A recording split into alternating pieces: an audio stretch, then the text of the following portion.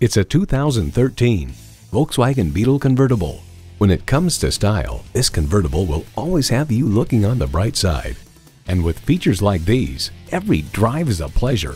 External memory control, doors and push-button start proximity key, front heated bucket seats, Bluetooth, leather steering wheel, i5 engine, power convertible roof, gas pressurized shocks, and Bluetooth wireless audio streaming.